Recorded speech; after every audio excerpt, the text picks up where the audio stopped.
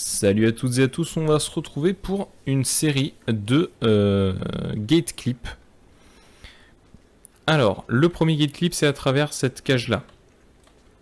Pour celui-ci, on va se placer sur la gauche de celle-ci.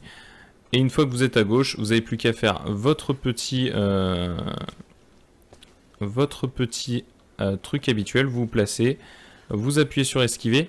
Et là, vous voyez, j'appuie sur la droite et je tourne légèrement ma caméra euh, sur pause. Vous appuyez sur gauche et vous placez votre caméra sur la gauche. Deuxième gate clip, vous vous placez au milieu de la porte, vraiment entre les deux poignées.